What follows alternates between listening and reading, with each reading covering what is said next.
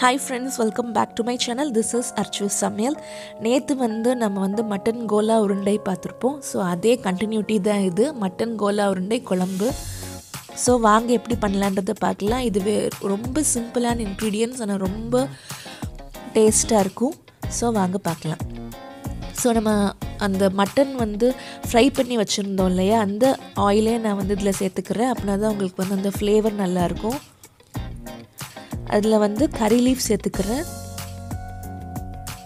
அதுக்கப்புறமா ரெண்டு காஞ்ச மிளகா. அதுக்கப்புறமா இருபது சின்ன வெங்காயத்தை கட் பண்ணி வச்சுருக்கேன். அதையும் நான் வந்து சேர்த்துக்கிறேன்.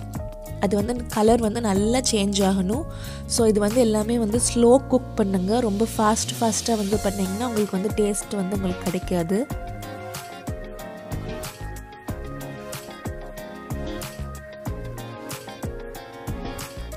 ஸோ கலர் நல்லா சேஞ்ச் ஆனதுக்கப்புறமா நம்ம வந்து பூண்டு சேர்த்துக்கலாம்.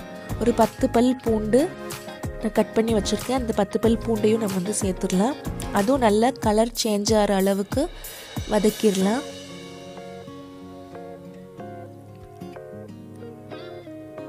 அதுக்கப்புறமா ரெண்டு தக்காளி எடுத்திருக்கேன். ஸோ ரெண்டு பெரிய தக்காளி வரைக்கும் எடுத்திருக்கேன். ஸோ உங்களுக்கு சின்ன தக்காளியாக இருந்துச்சுன்னா மூணு தக்காளி எடுத்துக்கோங்க.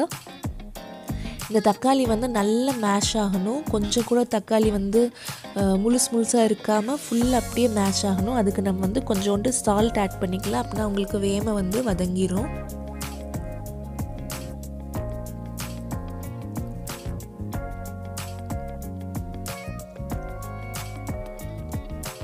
ஸோ ஒரு ஃபோர் டு ஃபைவ் மினிட்ஸில் உங்களுக்கு நல்ல தக்காளி வந்து வதங்கிரும். ஸோ பார்த்தீங்களா உங்களுக்கு தக்காளி உங்களுக்கு எங்கேயுமே தெரியல. நல்லா வதங்கியாச்சு. நம்ம இப்போ வந்து மட்டன் மசாலா வந்து ஆட் பண்ணிக்கலாம். நான் வந்து ஒரு டூ டேபிள் ஸ்பூன் வரைக்கும் மட்டன் மசாலா வந்து ஆட் பண்ணுறேன் உங்கள்கிட்ட மட்டன் மசாலா இல்லைன்னா one tablespoon red chilli powder one tablespoon வரைக்கும் கொரியாண்டர் பவுடர் ஹாஃப் டீஸ்பூன் வரைக்கும் குமின் பவுடர் அதுக்கப்புறமா half a teaspoon garam masala அதுக்கப்புறமா கொஞ்சோண்டு டெர்மரிக் பவுடர் இது எல்லாத்தையுமே மிக்ஸ் பண்ணிவிட்டு அதை நீங்கள் வந்து சேர்த்துக்கோங்க. ஸோ இது என்னன்னு பார்த்தீங்கன்னா நம்ம நேற்று எடுத்து வச்சுருந்தோம் இல்லையா? அந்த மட்டன் கோலா உருண்டை அது நீங்கள் நேற்று பார்த்துருந்தீங்கன்னா உங்களுக்கு தெரிஞ்சிருக்கும். அந்த தண்ணி அதுக்கப்புறமா கொஞ்சோண்டு அந்த மட்டன் மீட் பாலில் வந்து நான் எடுத்து வச்சுருந்தேன். அது ரெண்டையுமே கரைச்சி வச்சுக்கலாம். ஸோ இதுதான் வந்து ஃபுல் ஃப்ளேவர் கொடுக்கும். நம்ம அந்த கிரேவியை மட்டும் தனியாக எடுத்து சாப்பிட்டாலும் அந்த மட்டன் ஃப்ளேவர் வந்து ரொம்ப கொடுக்கும். அதனால் நம்ம வந்து இந்த மட்டன் கோலா உருண்டை பண்ணும்போது நம்ம ஸ்ட்ரெயின் பண்ணி வச்சுருந்தோம் இல்லையா? அந்த வாட்டரையும் இந்த மட்டன் கோலா உருண்டை அந்த மாவையும் ரெண்டையும் மிக்ஸ் பண்ணி வச்சுக்கலாம். ஸோ நேற்று நீங்கள் அந்த ரெசிபி பார்க்கலன்னா மட்டன் கோலா உருண்டையான ரெசிபி வந்து டிஸ்கிரிப்ஷன் பாக்ஸில் இருக்குது அதை போய் நீங்கள் செக் பண்ணிக்கோங்க. அப்படின்னா உங்களுக்கு என்ன இதுன்னு தெரியும்.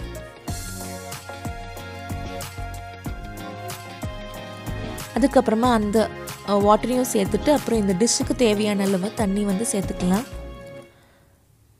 ஸோ இது எல்லாத்தையுமே நல்லா மிக்ஸ் பண்ணிக்கோங்க.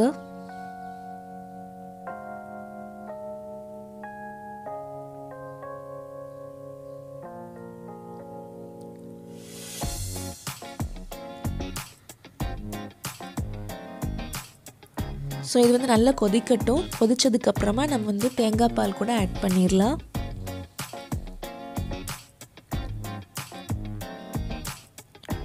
ஸோ நான் சால்ட் வந்து செக் பண்ணேன். கொஞ்சம் கம்மியாக இருந்துச்சு. அதனால நான் கொஞ்சம் வந்து சேர்த்துக்கிறேன் இப்போது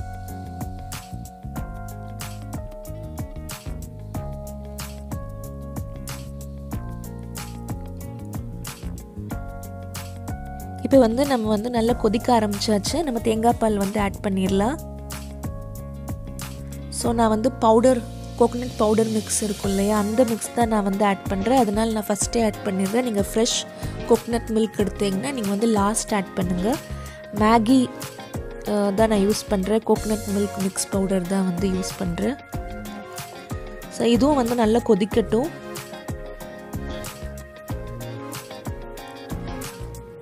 ஸோ கிரேவி வந்து கொஞ்சம் திக்காக இருக்கணும். ரொம்ப லூஸாக இருக்கக்கூடாது. ஸோ கொஞ்சம் திக்கானதுக்கப்புறமா நம்ம வந்து அந்த மீட் பால் செஞ்சு வச்சுருந்தோம் இல்லையா? அதையும் நம்ம வந்து சேர்த்துடலாம். ஸோ இந்த மீட் பால்ஸ் ரெசிபி வந்து டிஸ்கிரிப்ஷன் பாக்ஸில் இருக்குது அதை வந்து நீங்கள் செக் பண்ணிக்கோங்க.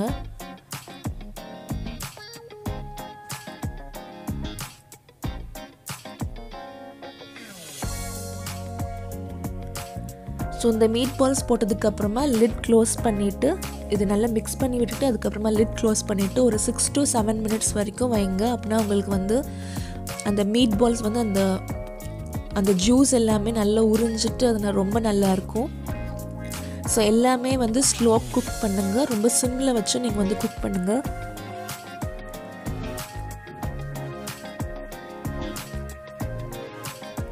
ஸோ நல்லா கொதிக்க ஆரம்பிச்சாச்சு. இப்போ வந்து நம்ம கொத்தமல்லி வந்து நல்லா கட் பண்ணிவிட்டு சேர்த்துக்கலாம்.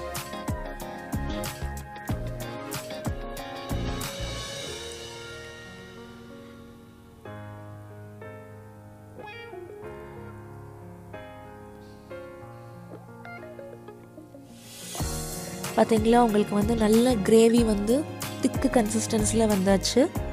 ஸோ ரைஸோடு சப்பாத்தியோடு சாப்பிட்டா ரொம்ப ரொம்ப நல்லாயிருக்கும். நீங்கள் அந்த மீட் பால்ஸ் இல்லாமல் வெறும் அந்த கிரேவி மட்டும் நீங்கள் ரைஸில் போட்டு சாப்பிட்டாலும் அதோட ஃப்ளேவர் வந்து உங்களுக்கு ரொம்ப நல்லாயிருக்கும். ஸோ இந்த ரெசிபி ரொம்ப சிம்பிளான ரெசிபி ஸோ கண்டிப்பாக உங்கள் வீட்டில் வந்து ட்ரை பண்ணி பாருங்கள் இந்த ரெசிபி உங்களுக்கு பிடிச்சிருந்ததுன்னா மறக்காமல் இந்த சேனலை லைக் ஷேர் அண்ட் சப்ஸ்கிரைப் பண்ணுங்கள் தேங்க்ஸ் ஃபார் வாட்சிங் take care and bye bye